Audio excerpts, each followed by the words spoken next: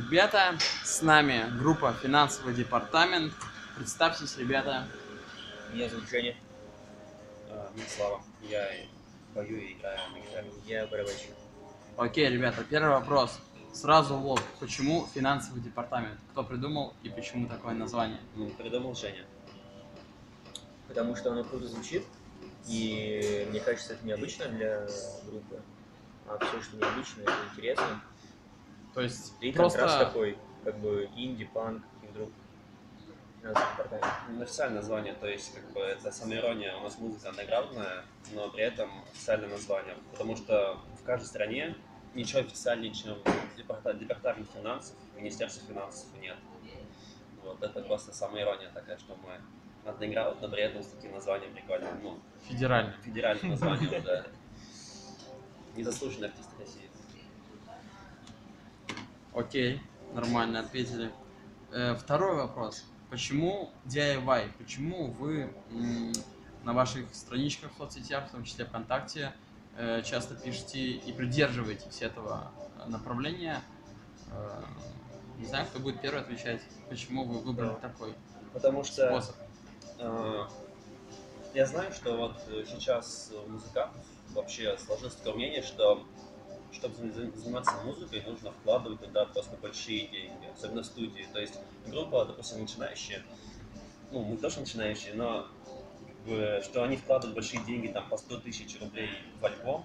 То есть есть такие 100 тысяч, ра- 100 тысяч рублей в альбом вложили, и потом они в записях так в новостях пропали, и как бы, Только за это они ничего не получили. много, а- много вкладывают в группу, да, да, и к тому же проблема в том, что многие звукорежиссеры в России, они, как сказать, они записывают хорошо, они записывают хорошо очень, но с- сведение, что касается сведения и мастеринга, ну, здесь очень многие плавают. И поэтому, если мы хотели, допустим, то звучание, какое мы хотим, мы можем получить за счет того, что мы сами тут все это сведем, мы смастерим так, как именно как нам нужно. И к тому же сейчас время такое, что можно записать и Ну да, можно дома иметь можно небольшую дома, студию. да, в принципе, специально позволяет. Но уже сейчас нет, но вот раньше можно было Но все равно купить. хороший мастеринг, по-моему, нужно звукорежиссера хорошего иметь. Да, вот в России, к сожалению, вот они совсем можно найти. Да.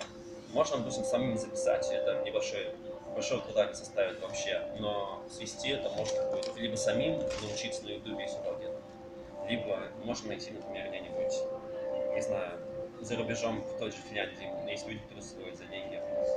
Причем так, ну, не очень особо дорого, но хорошо сводят. Вот. Ну да.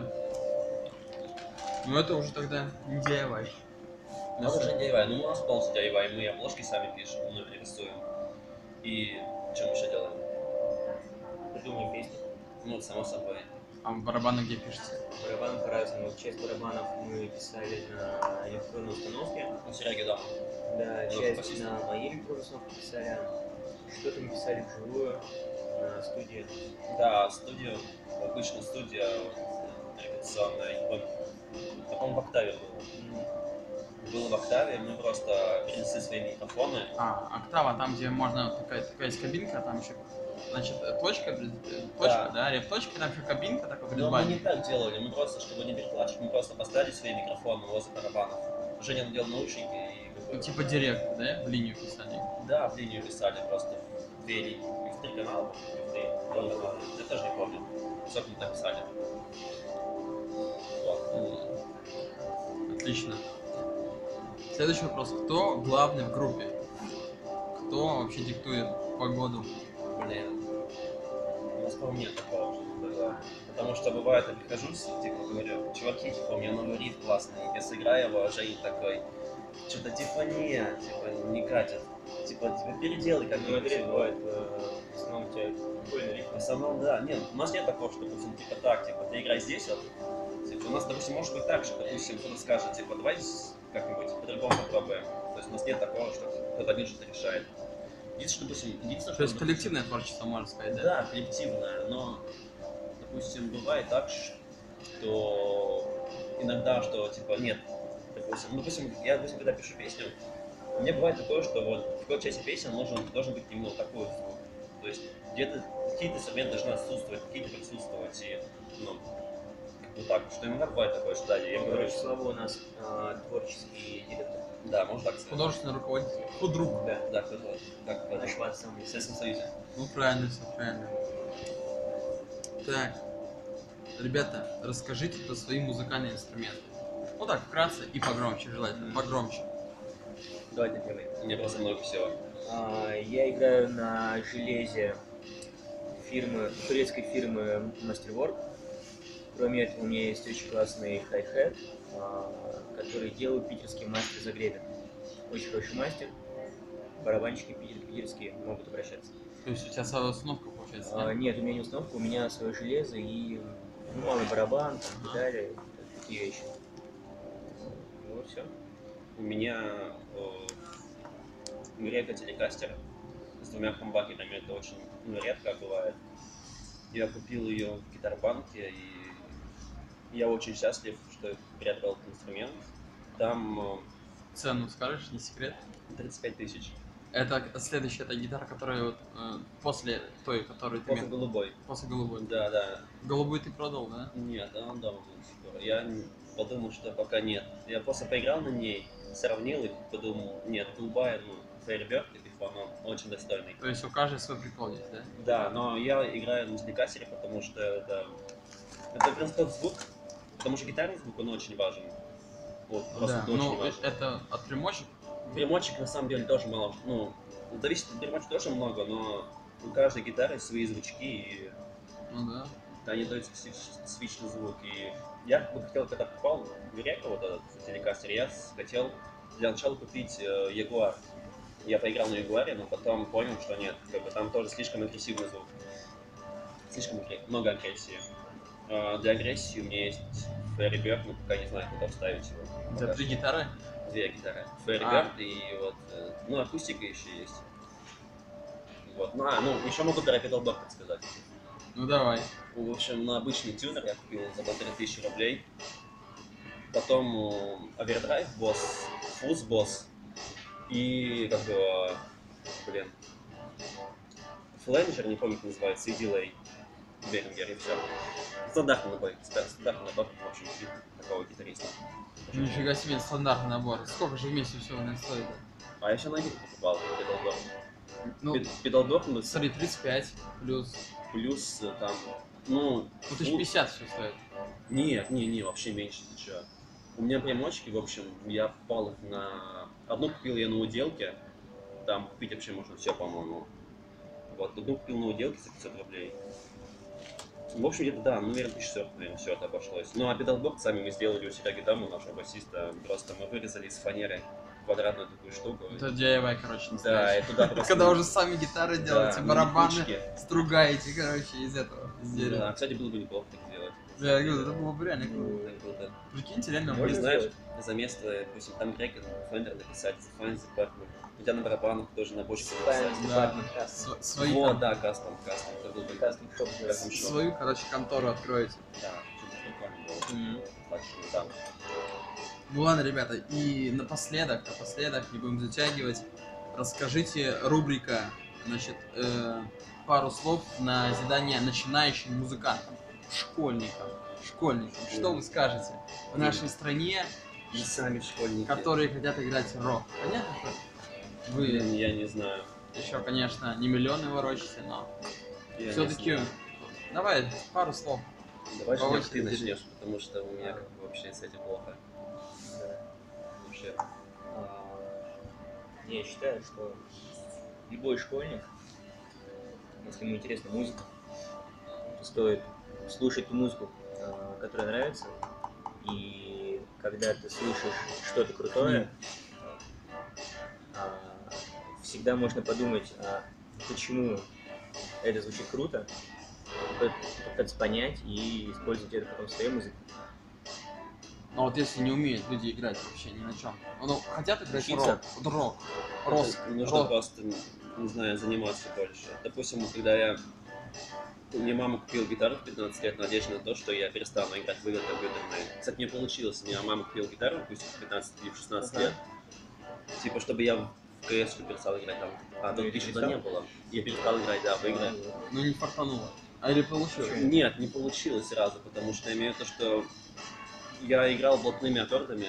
Я, знаешь, я там что аккорды АМ, там ДФ, ой, там ДМ, EM. ЕМ, я понял, типа, вау, типа, я крутой гитарист. Еще, Прямо еще без баре даже, наверное, да? без баре, потому что без баре можно было многие песни Monkeys сыграть даже. На обычно на полтых аккордах я играл песни Monkeys. А потом я услышал группу Black Case и Black Box Relation, я понял, блин, я вообще играть не умею. Что знаешь, я взял гитару в руки и начал там вот стейнограмм пытался играть. Я понял, блин, что-то как я как я замечательный. Да, но потом просто я понял, что нужно заниматься. Я там было такое, что я просто даже один раз даже утром вставал в трусах, сидел, играл на гитаре, да, и потом вечером понял, что типа, блин, типа, на самом деле я весь день играю. У меня было такое просто несколько раз уже. Ну и сейчас у меня бывало. В общем, прокачивать свой скилл, да? Рекомендуешь? Да, ну и все, не знаю, допустим, должно быть такое, что ты должен понимать, мне кажется. Допустим, я часто понимаю, что я как бы... То есть критиковать себя нужно часто. Ну, вот- Я себя постоянно критикую. Вот после каждого концерта я, пони- я понимаю, блин, столько было лаж. Ну, просто мне так кажется. А людям, люди часто, допустим, говорят, типа, вау, типа, очень круто. А я понимаю, вы что, как больные, что ли? Потому что это, ну, как бы столько же лажи было. После есть каждого концерта Слава, он, короче, уходит на три дня на репточку и репетирует.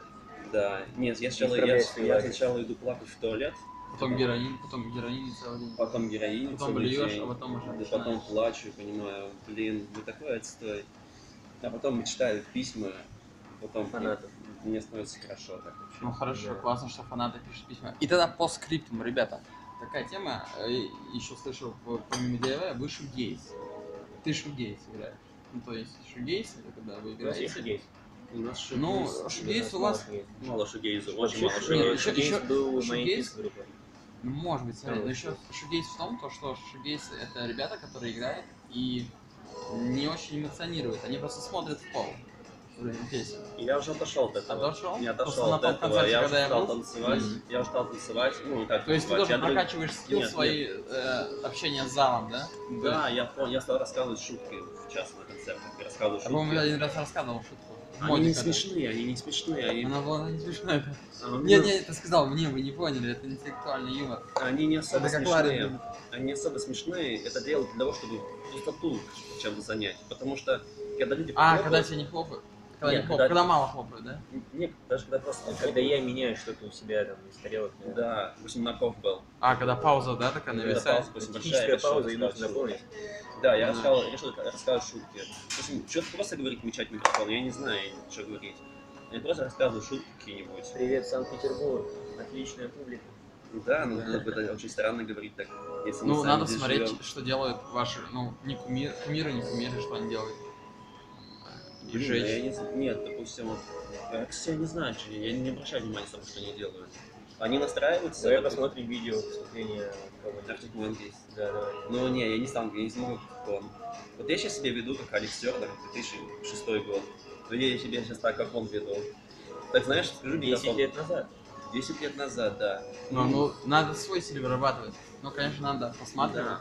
Ну не, я на самом деле сейчас трясу коленками во время выступления. Да. Футбол редко смотрю. Главное не сами, ребята. В, в Роске, Роск, музыка Роска это святое. Ну что ж, тогда пожелайте, а, ребятам подписаться на канал и поставить лайк. Да, подписывайтесь на канал, ставьте лайки. И ну, слушай, послушайте, наконец-то, последний альбом Blood Party и Визера, то Женя никак не может его послушать. Не обязательно слушай. Слушайте хорошую музыку. Нашу. Я сейчас себя повернуть не могу, но я так за кадром скажу, что с вами была группа «Финансовый департамент» и, конечно же, я, бессменный интервьюер Макс Куле. Подписывайтесь на канал, ставьте большие пальцы вверх, донатьте мне. До свидания.